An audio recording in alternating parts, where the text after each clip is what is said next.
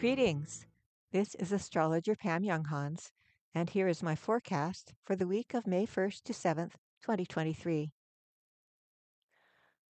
A very eventful week is opening before us, with catalytic Pluto stationing retrograde on Monday and a high powered Scorpio lunar eclipse on Friday.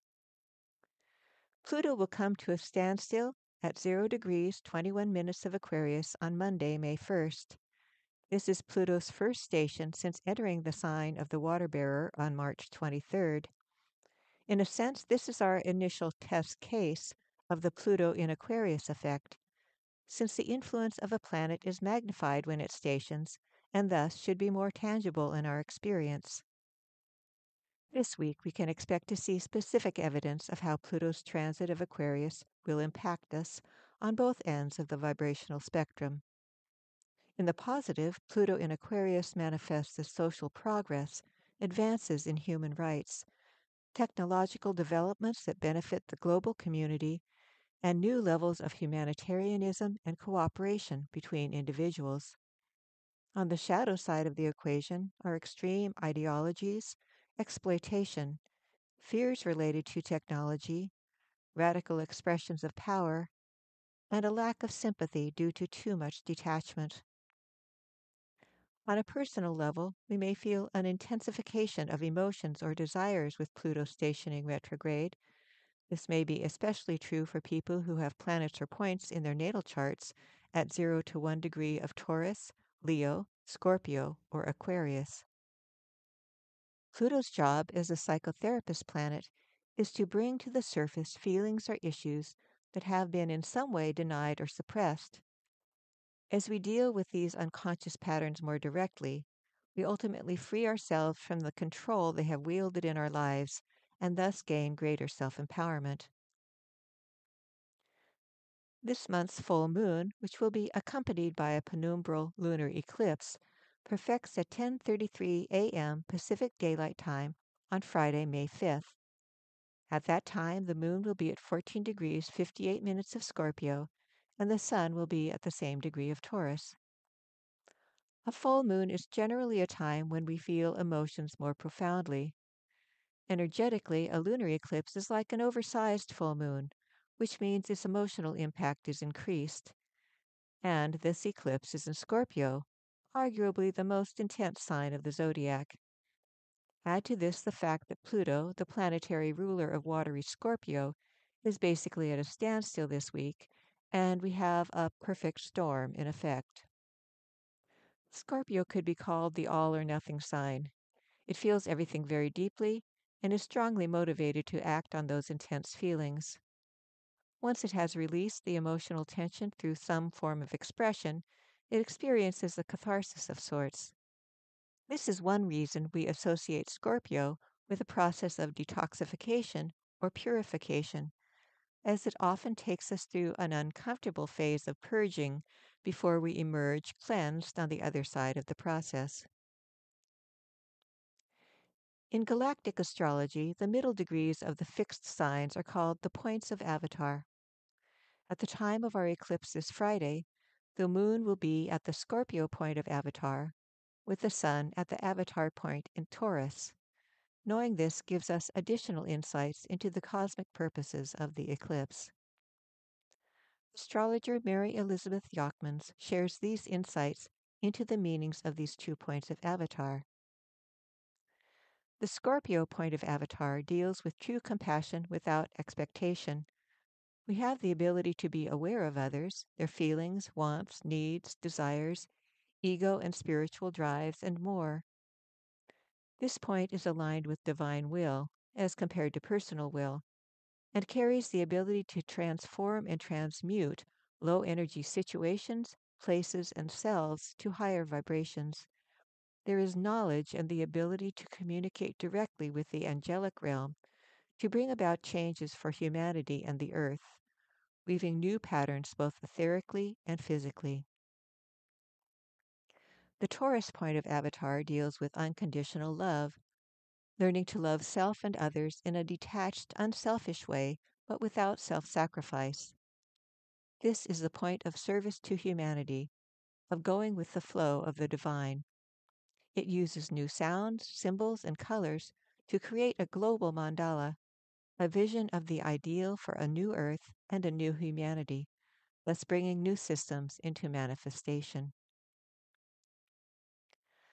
Another important feature of Friday's full moon eclipse is that the sun will be within 4 degrees of Uranus and also only 6 degrees away from retrograde Mercury.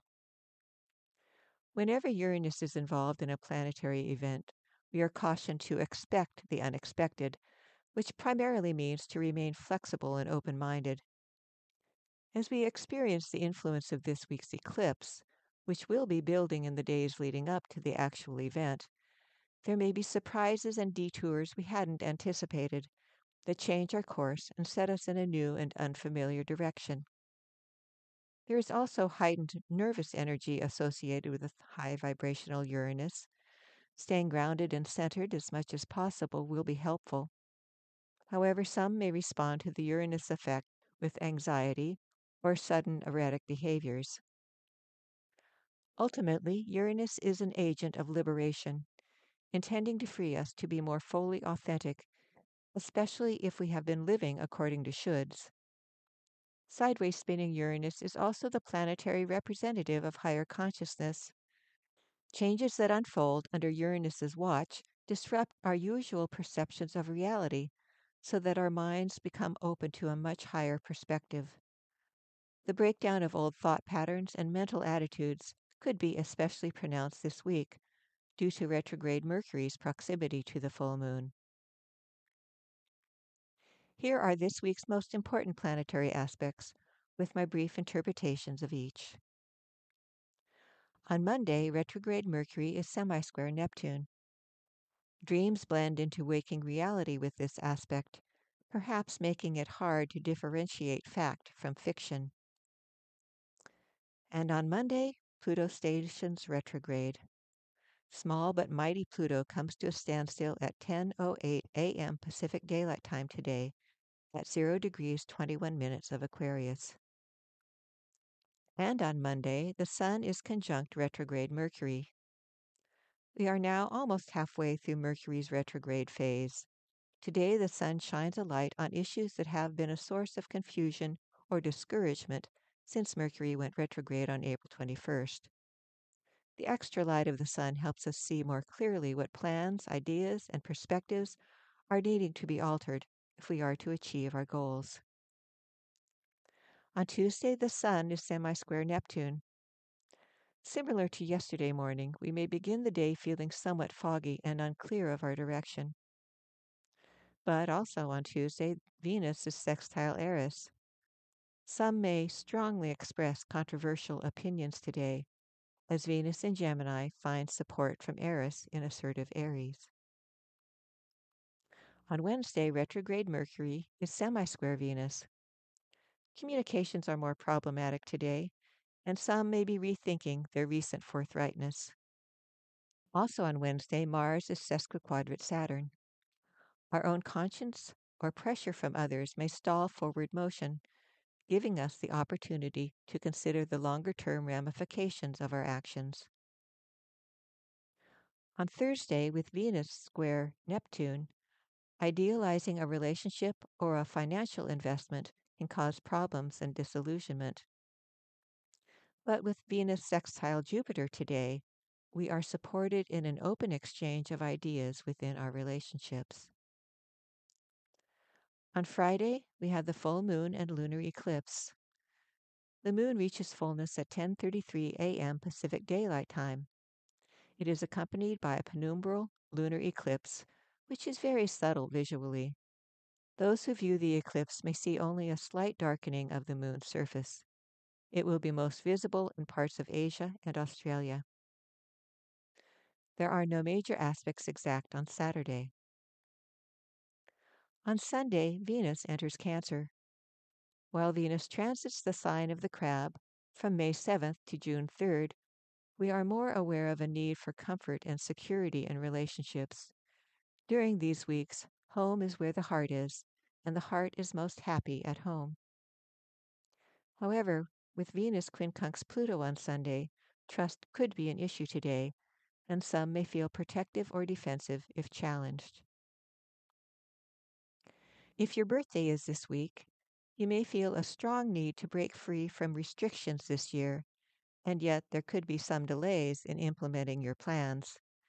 If this occurs, consider it an opportunity to spend more time in introspection, understanding what your core values are and how they may be best honored by your life choices. Keeping a journal or even jotting your thoughts down on post it notes can help you sort through your options. This is a good year to try new experiences and to be open to alternative ideas and information sources. If you feel drawn to embark on a new life journey, be sure to include more than one possible route in your itinerary, since your self understanding and ideas of what you want may continue to shift throughout the year. This is astrologer Pam Younghans wishing you an insightful week. Thank you for being with me on this journey. We hope that you have enjoyed this article. For over 30 years, we at Inner Self have sought to encourage new attitudes and new possibilities. For more inspiration, visit us at innerself.com. Thank you.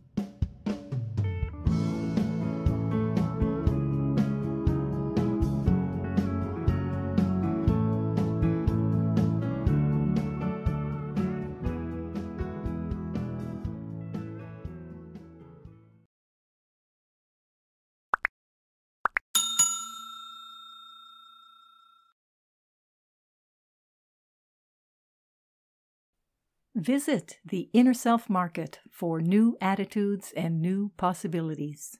You'll find inspiring books, wonderful music CDs, audiobooks, card decks, candles, jewelry, gifts, all kinds of wonderful things. Visit us at market.innerself.com.